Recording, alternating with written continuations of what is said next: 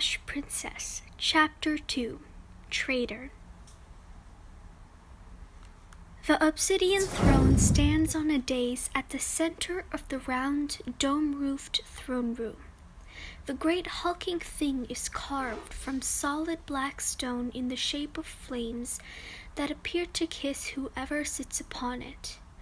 It's plain, almost ugly, amid all the gold and grandeur that surrounds it but it is certainly commanding, and that is what matters. The Kalovaxians believe that the throne was drawn forth from the volcanoes of old Kalovaxia and left here in Astrea for them by their gods, ensuring that they would one day come and save the country from its weak and wilful queens.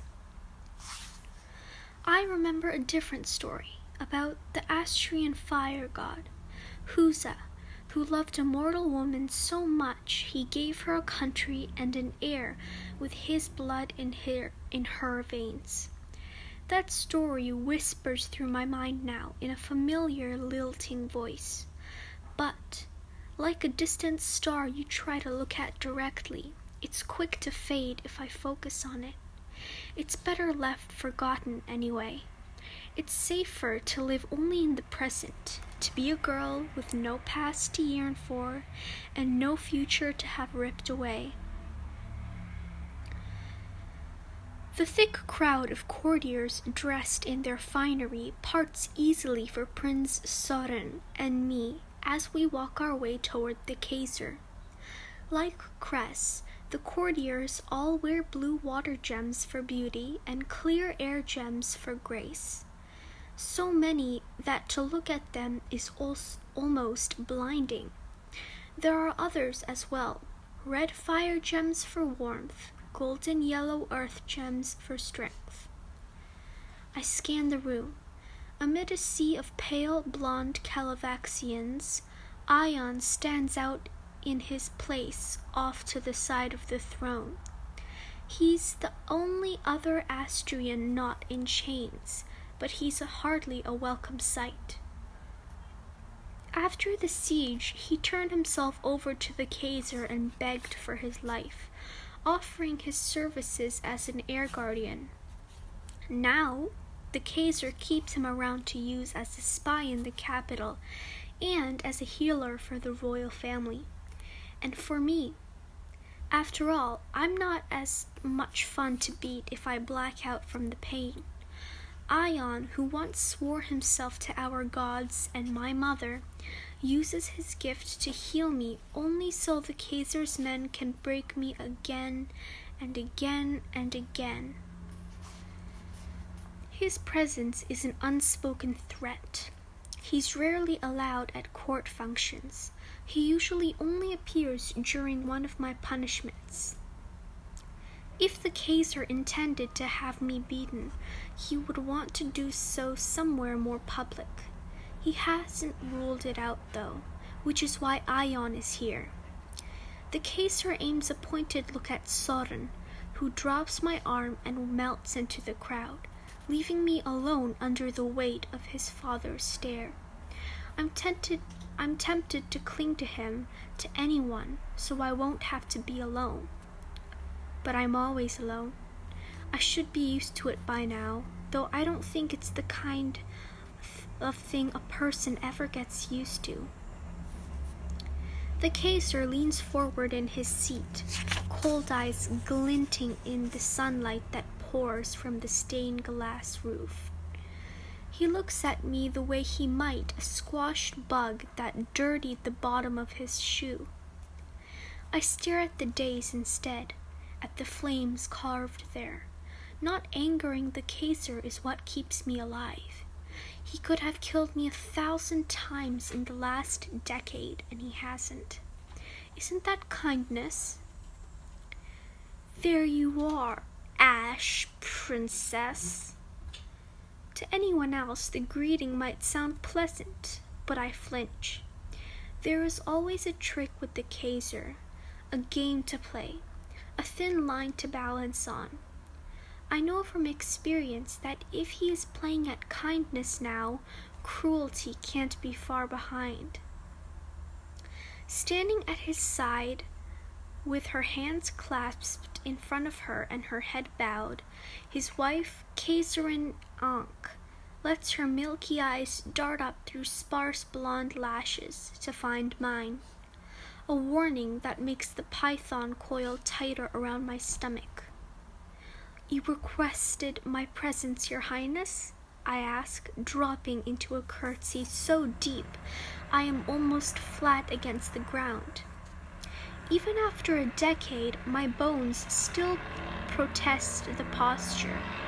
My body remembers, even when the rest of me forgets, that I am not made for curtsying.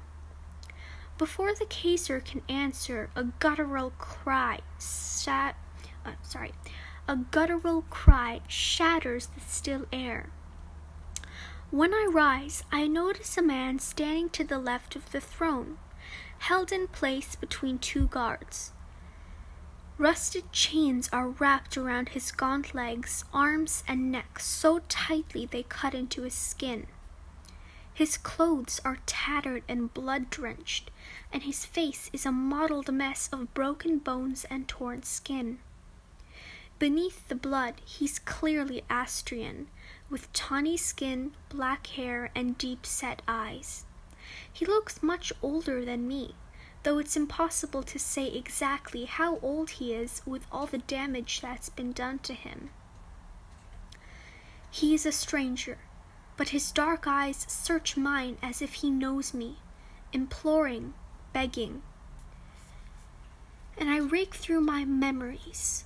Who could this be, and what does he want from me? I have nothing for him, nothing left for anyone. Then the world shifts beneath my feet. I remember those eyes from another lifetime, set in a gentle face a decade younger and unbloodied. Memories surge forward, even as I try to press them down. I remember him standing at my mother's side, whispering something in her ear, ear to make her laugh. I remember his arms coming around me as he lifted me up in the air so I could pick an orange from a tree. I remembered how he smiled at me like we shared a secret. I push back those thoughts and focus instead on the broken man standing before me. There is one man always mentioned in connection with the rebellions, one man who has a hand in every move made against the Kaiser one man whose name alone is enough to send the Kaiser into a wild eyed rage that leaves me whipped so hard I have to stay in bed for days. One man whose acts of defiance have caused me so much pain, but who has been my one spark of hope when I dare let myself imagine there is an after to these infernal years. No wonder the Kaiser is so happy. He's finally caught the last of Astrea's guardians and my mother's closest guard, Ampelio. My queen, he says. His voice carries so that everyone gathered in the silent throne room hears his treason. I shrink back from his words. No, no, no. I want to tell him I am no one's queen. I am Lady Thora, Princess of Ashes. I am no one. It takes me a moment to realize he's speaking Astrean, speaking forbidden words once used to address my mother. My mother. In another life, I was another girl, another kind of princess. That girl was told that one day she would be a queen but she never wanted that to be true. After all, being queen meant living in a world where her mother was no longer existing, and that had been unfathomable. But that girl had died a decade ago. There is no help for her now. The man lurches, weighted down by his chains. He's too weak to make it to the door, but he doesn't even try for it. Instead, he topples to the ground at my feet, fingers grasping the hem of my dress and staining the pale yellow silk red. No, please. Part of me wants to drag him up and tell him he's mistaken.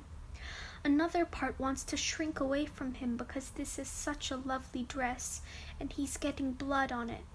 And yet, another wants to scream at him that his words are going to ruin us both. But at least he will have the mercy of death. He refused to speak to anyone but you, Kaiser Corbin Nian says in an acid voice. Me? My heart is beating so hard in my chest that I'm surprised the whole court can't hear it. Every eye in the room is on me. Everyone is waiting for me to slip, desperate for the slightest hint of rebellion so that they can watch the Kaiser beat it out of me again. I will not give it to them.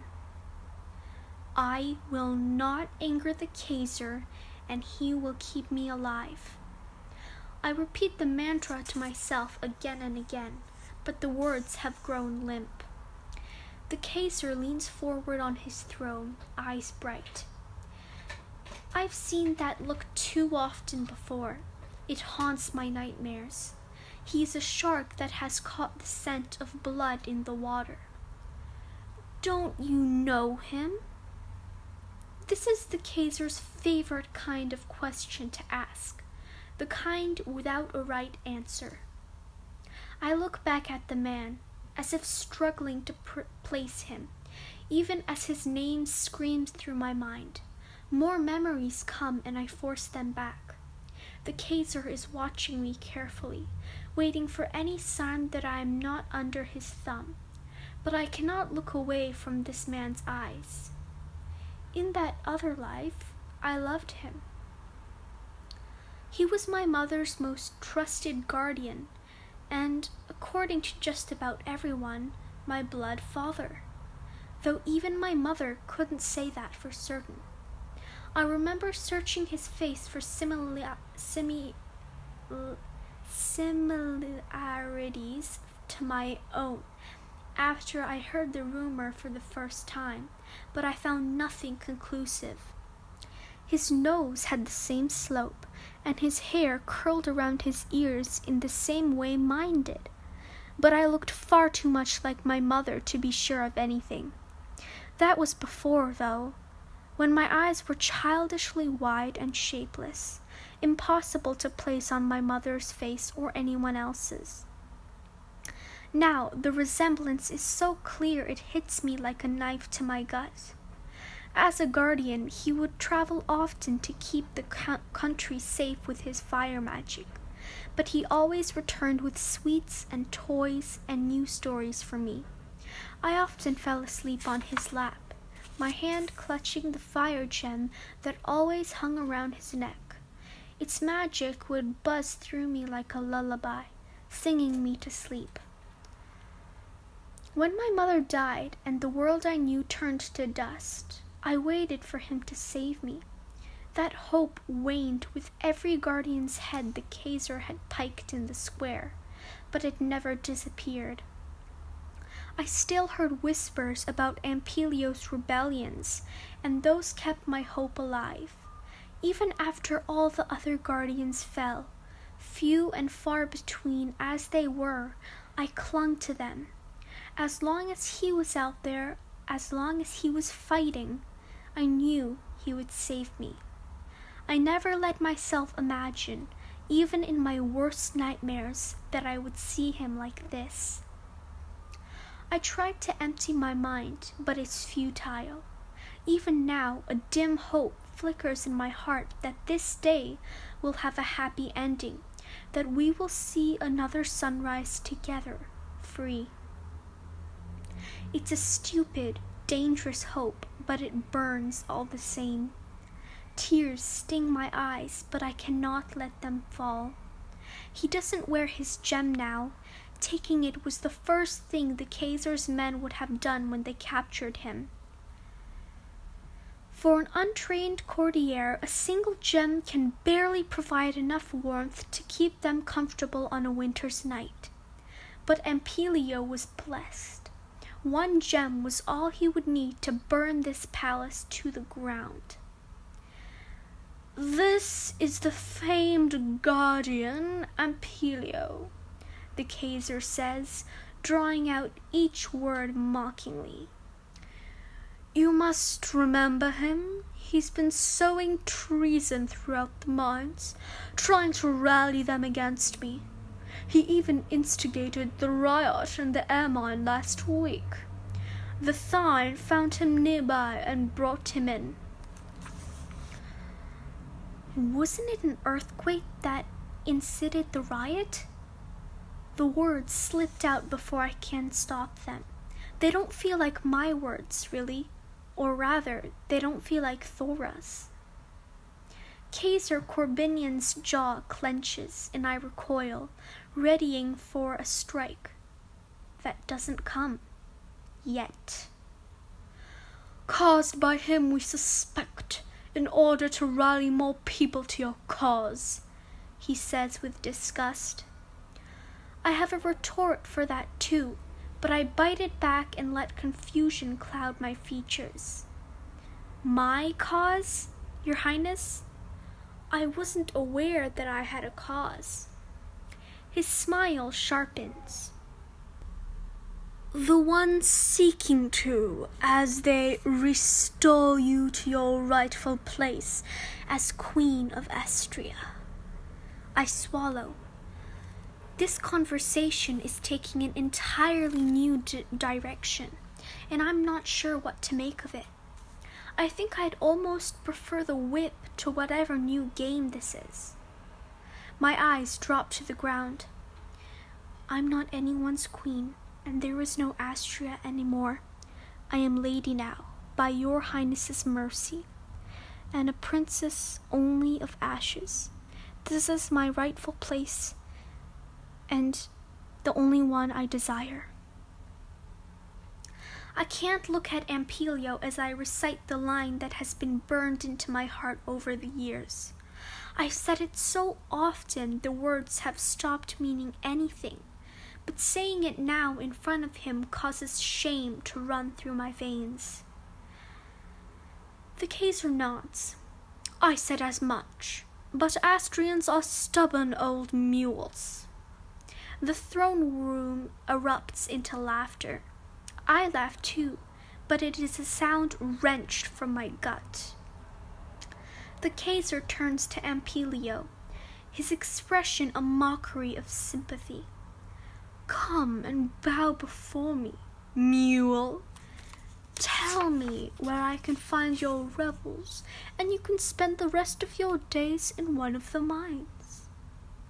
He grins at the broken man still lying at my feet. Agree, I want to yell. Pledge your loyalty to him. Survive. Do not anger the Kaiser and he will keep you alive.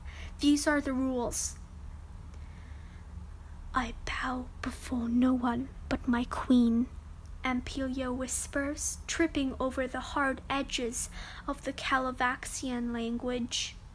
Despite his low voice, his words carry throughout the room, followed by gasps and murmurs from the court. He raises his voice. Long live Queen Theodosia Eirene Houzzara! Something shatters within me, and everything I've held back, every memory I've repressed, every moment I've tried to forget. It all comes rushing forward, and I can't stop it this time. Theodosia. It's a name I haven't heard in ten years. Theodosia. I hear my mother saying it to me, stroking my hair, kissing my forehead. You are old people's only hope, Theodosia. Ampelio always called me Theo, no matter how my nanny Bertie chided him for it. I was his princess, she said, and Theo was the name of a dirt streaked ragamuffin. He never listened, though. I might have been his princess, but I was something more as well. He was supposed to save me, but he never did. I've been waiting for ten years for someone to come for me, and Ampelio was the last scrap of hope I had. Maybe he'll answer to you, princess? The Kaiser says. My shock is dim, drowned out by the sound of my name echoing again and again in my mind. I. I couldn't pre- presume to have that power, Your Highness, I manage. His mouth purses in an expression I know all too well. The Kaiser is not a man to be refused. This is why I keep you alive, isn't it? To assist as a liaison to bull-headed Astrean scum. The Kaiser is kind to spare me, I think. But then I realize once again that he doesn't spare me out of kindness. He keeps me alive to use me as a leverage against my people. My thoughts are growing bolder now, and though I know they are dangerous, I can no longer quiet them. And for the first time, I don't want to. I've been waiting for ten years to be saved, and all I have to show for it is a scarred back and countless dead rebels. With Ampelio caught, there is nothing more the Kaiser can take from me. We both know he is not merciful enough to kill me. May I speak Astrean? I ask the Kaiser. He might feel more at ease. The Kaiser waves a hand and slumps back into his chair. So long as it gets me answers. I hesitate before dropping to my knees in front of Ampelio, taking his shredded hands in mine.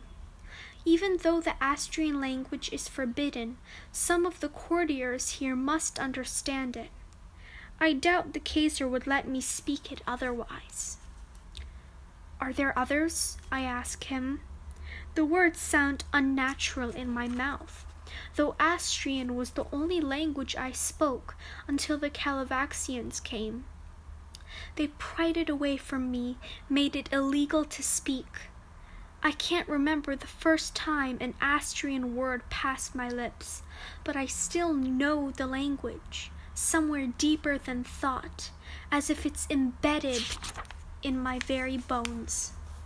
Still, I have to struggle to keep the sounds soft edged and long, unlike the halting and throaty speech of the Kalovaxians. He hesitates before nodding. Are you safe? I have to pause a moment before speaking. Safe as a ship in a cyclone.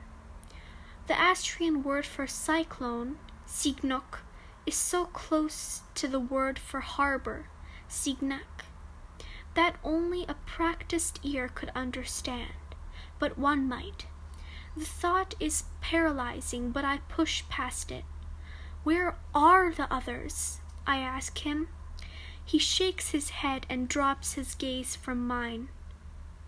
Nowhere, he chokes out, though he draws out the second syllable to sound more like everywhere to lazy ears. That doesn't make any sense. There are fewer Astreans than Kalovaxians, only a hundred thousands before the siege. Most are slaves now, though there were rumors they were working for some allies in other countries. It's been too long since I've spoken Astrean. I must have mistranslated. Who? I press. Ampelio sticks his gaze to the hem of my skirt and shakes his head. Today is done. The time has come for little birds to fly. Tomorrow is near. The time is here for old crows to die. My heart recognizes the words before my mind does. They're part of an old Astrean lullaby. My mother sang it to me, and so did my nanny. Did he ever sing it to me himself? Give him something and he'll let you live, I say. Ampelio laughs, but it quickly turns into a wheeze. He coughs and wipes his mouth with the back of his hand. It comes away bloody. What life would it be at the mercy of a tyrant? It would have been easy enough to slur together a pair of consonants and make the Astrean word for tyrant sound like the one for dragon, the symbol of the Kalovaxian royal family. But Ampelio spits out the word with enough emphasis, directing it at the Kaiser, so that even those who don't speak a word of Astrean can understand his meaning. The Kaiser leans forward in his chair fingers gripping the arms of the throne so tightly they turn white. He gestures to one of the guards. The guards draw his draws his sword and step towards steps toward Ampelio's prone form. He presses the blade to the back of Ampelio's neck, drawing blood, before lifting the sword again to ready the killing strike. I've seen this done too many times to other rebels or slaves who disrespect their masters. The head never comes off on the first swing. I ball myself into a fist in the material of my dress to keep from reaching out to shield him. There is no saving him now. I know that, but I cannot fathom it. Images swim before my eyes, and I see the knife drawing across my mother's throat. I see slaves whipped until the life leaves their bodies. I see guardians' heads on pikes in the capital square until the crap crows take them apart. I've seen people hanged for going against the Kaiser, for having the courage to do what I haven't. Run, I want to tell him. Fight, beg, bargain, survive. But Ampelio doesn't flinch from the blade. The only move he makes is to reach out and tether himself to my ankle. The skin of his palm is rough and scarred and sticky with blood. The time is here for old crows to die. But I can't let the Kaiser take another person from me. I can't watch Ampelio die. I can't. No! The voice forces its way through the fractured bits of me. No? The Kaiser's softly spoken word echoes in the silence and raises goosebumps down my spine. My mouth is dry, and when I speak, my voice rasps. You offered him mercy if he spoke, your highness. He did speak. The Kaiser leans forward. Did he? I may not speak Astrean, but he didn't seem particularly forthcoming. The words flow before I can stop them. He had only half a dozen comrades left after all your great efforts to destroy them. He believes the remaining men and women were killed in the earthquake in the air mine, but if any survived, they are supposed to meet him just south of the Angelamar ruins. There is a cluster of cypress trees there. There is at least a fraction of truth in that. I used to play in those trees every summer when my mother took her annual tour of the town that had been leveled by an earthquake the year before I was born. Five hundred people that died that day. Until the siege, the greatest tragedy Astrea had ever faced. The Kaiser tilts his head and watches me too closely, as if he can read my thoughts like words on a page. I want to cower, to force myself to hold his gaze, to believe my lie. After what feels like hours, he motions to the guard next to him. Take your best men, there's no telling what magic the heavens have. The guards nod and hurried from the room. I am glad to keep my face impassive, even while I want to sweep with relief. But when the Kaiser turns his cold eyes back on me, that relief turns hard and sinks to the pit of my stomach. Mercy, he says quietly, is an Astrean virtue. It is what makes you weak But I hoped we saved you from that. Perhaps blood will always win out in the end. He snaps his fingers, and the guard forces the hilt of his iron sword into my hands. It's so heavy that I struggle to lift it. The earth gems glint in the light, and their power makes my hands itch. It's the first time since the siege that I've been allowed to handle any kind of gem or any kind of weapon, for that matter. Once I would have welcomed it, anything to make me feel like I had a little bit of power. But instead, my stomach lurches as I look at Ampelio lying at my feet and realize what Kaiser expects me to do. I shouldn't have spoken up. I shouldn't have tried to save him, because there is something worse than watching the light leave the eyes of the only person I have left in the world. It's driving the sword into him myself. My stomach twists at the thought, and bile rises into my throat. I grip the sword, struggling to box myself up again and bury Theodosia even deeper before I end up with a sword at my throat as well. But it can't be done this time. Everything feels too much, hurts too badly, hates too fiercely to be contained now. Perhaps sparing your life was a mistake. His voice is casual, but it makes the threat all the clearer. Traitors receive no pardons from me or the gods. You know what to do. I barely hear him. I barely hear anything. Blood pounds in my ears, blurring my vision and my thoughts until all I can see is Ampelio lying at my feet. Father, is this really necessary? Prince Soren steps forward. The alarm in his voice surprises me, but so does the strength behind it. No one has ever contradicted the Kaiser. The court is as surprised as I am, and they break their silence with whispers that are only interrupted when the Kaiser slams his head against the arm of the throne. Yes, he hisses, leaning forward. His cheeks are a vicious red, though whether it's anger at his son or embarrassment at being questioned, it's difficult to say.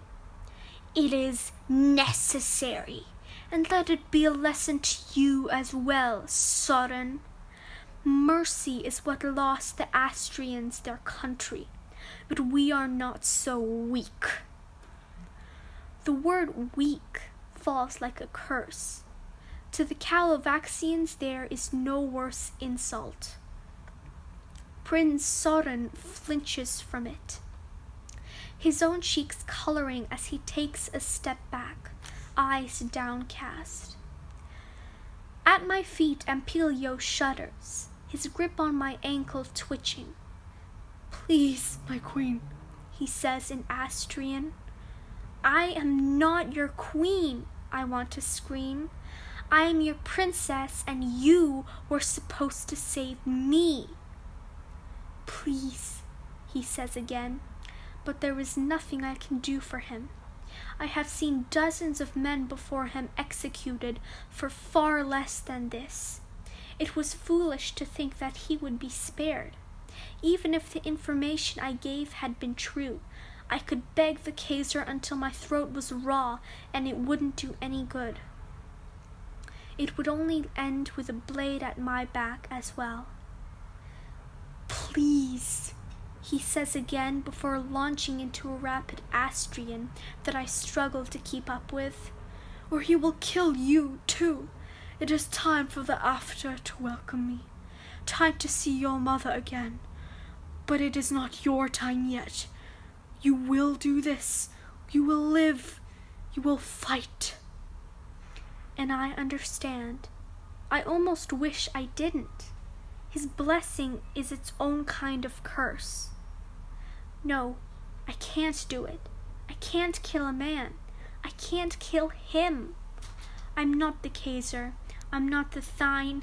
I'm not Prince Soren. I'm. Something shifts deep inside me. Theodosia. Ampelio called me. It's a strong name, the one my mother gave me. It's the name of a queen.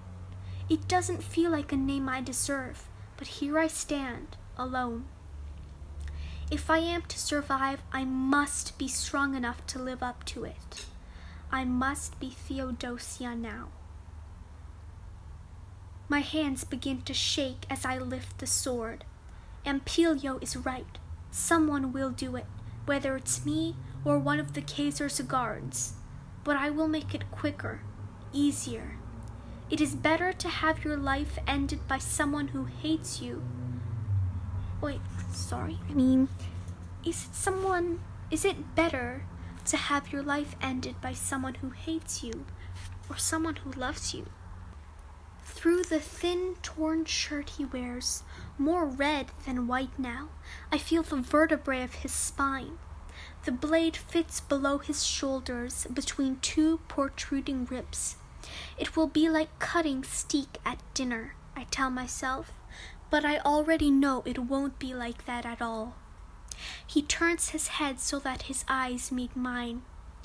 There is something familiar in his gaze that wrings my heart in my chest and makes it impossible to breathe. There is no doubt left in me. This man is my father. You are your mother's child, he whispers. I tear my eyes away from him and focus on the Kaiser instead, holding his gaze.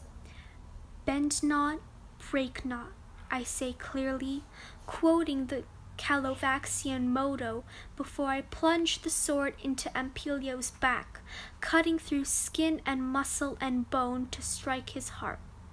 His body is so weak, so mangled already, that it's almost easy. Blood gushes up, covering my dress. Ampelio gives a twitch and a shallow cry before going limp. His hand slips away from my ankle, though I feel the bloody handprint left behind. I withdraw the sword and pass it back to the guard, numb. Two other guards step forward to drag the body away, leaving a trail of slick red in its wake. Take the body to the square and hang it for everyone to see. Anyone who tries to move it will join him. The Kaiser says before turning back to me. His smile pools in the pit of his in the pit of my stomach like oil. Good girl. The blood soaks my dress, stains my skin. Ampelio's blood, my father's blood. I curtsy before the Kaiser, my body moving without my mind's consent. Clean yourself up, Lady Thora. There will be a banquet tonight to celebrate the fall of Astrea's greatest rebel. And you, my dear, will be the guest of honor. I drop into another shallow curtsy and bow my head. Of course, Your Highness, I look forward to it. The words don't feel like my own. My mind is churning so deeply I'm surprised I can find words at all. I want to scream. I want to cry. I want to take the bloody sword back and stab it into Kaiser's chest, even if I die in the process. It is not your time yet. Ampelio's voice whispers through my mind. You will live, you will fight. The words don't bring me any comfort. Ampelio is dead, and with him my last hope of being rescued.